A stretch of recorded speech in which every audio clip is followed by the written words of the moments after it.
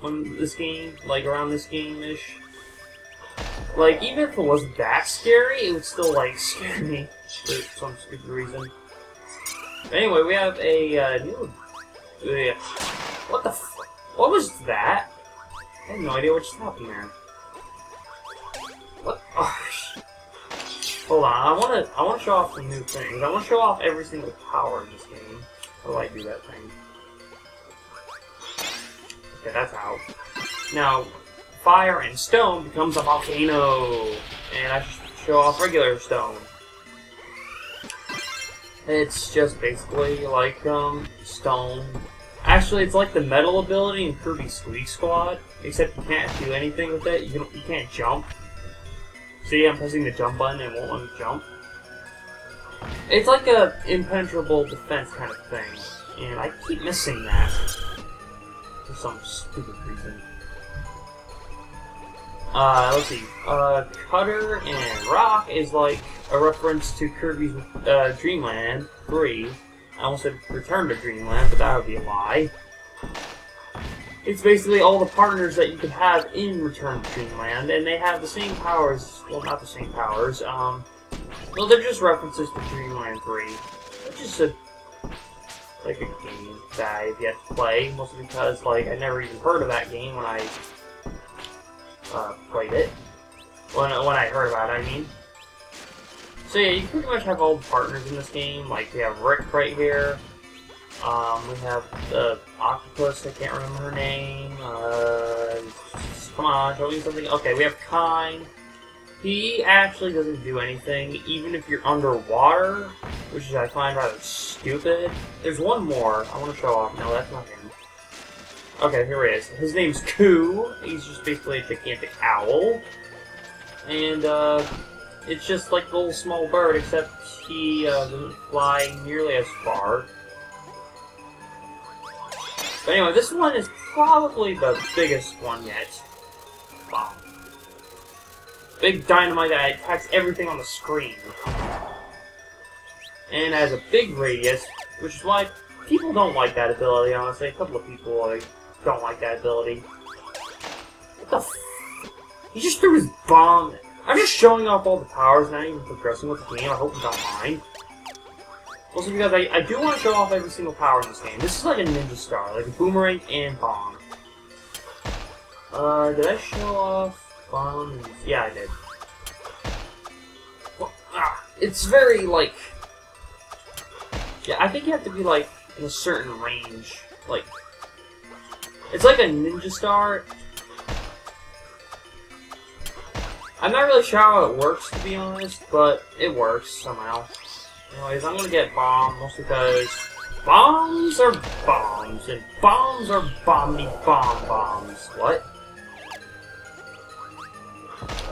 Okay, these are Gordos, the classic Kirby enemy that makes appearance in, I think, every single Kirby game, except for maybe, um...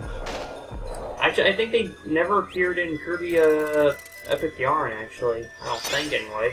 And this is electric you become a light bulb, because that makes sense. A bomb and a light bulb and lightning become a light bulb. yeah, because that makes sense, obviously. Anyway, it's just normal electric, it's just basically this. I feel kind of weird explaining this, because like I said, it's like, it's a Kirby game, you should know this by now. But it's like, there are people who haven't played Kirby games, like those stupid Call of Duty fans that I hate that game so much, even though I've never played it. I'm sure what people say, but regardless, um, yeah. Actually, I do want to keep electric, actually. Because it'll actually make this next thing easier for me. Oh, and electric needle yeah, it's just basically a lightning rod, essentially. Except it hurts you. Well, no, no, it doesn't hurt you. What am I talking about? I'm, I'm crazy. Ignore me. I, everything I say is horrible. Ice and electric is probably the most broken thing in this game. It's a refrigerator.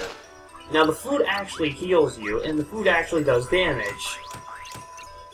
So, if you ever wanted to, you could just potentially beat the game with this ability, except for Well, actually, if you wanted 100% it, you couldn't, because you actually need to lose your abilities, because you actually need to use every single copy ability in this game in order to beat it. 100% that is. Which I'm going for, obviously. But if you just want to play the game normally, just want to have fun, then maybe you could use this ability. It's not particularly, like, the best ability, like, not useful in, like, combat, like the gigantic fire sword was. Anyway, there's a shard down there. Did I miss one? I feel like I missed one. I know I'm not. And down here. Before you go down, there's a nice maximum tomato here, and a 1-up on this side. Which is actually a 1-up. It's not a mushroom or anything. It's literally a 1-up. I... What? Yeah, the bosses in this game are real aesthetic, as you can see. And I think, aside from the first mini-boss we fight, we get a Crystal Shard.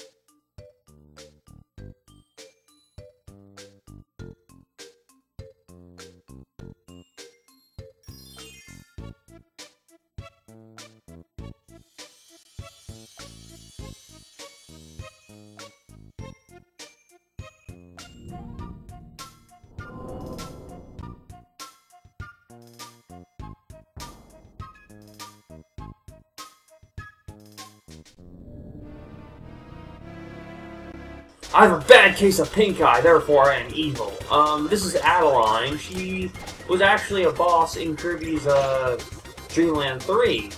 And actually, now looking at it, um, these enemies, they look like they were made from Kirby's Dreamland 3, now looking at them.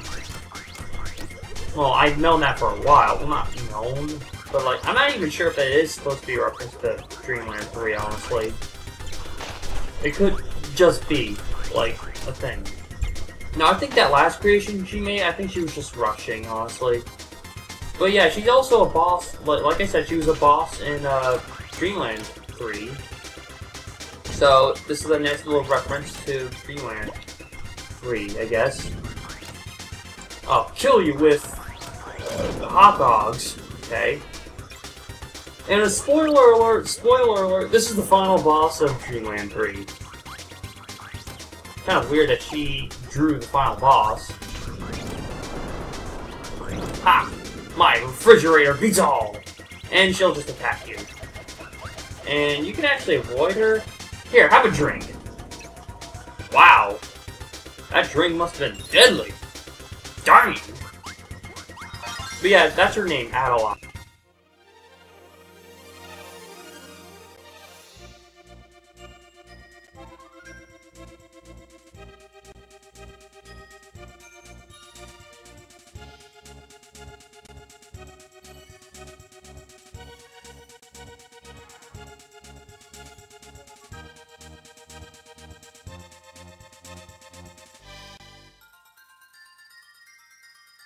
Come on! Aww, I missed the card.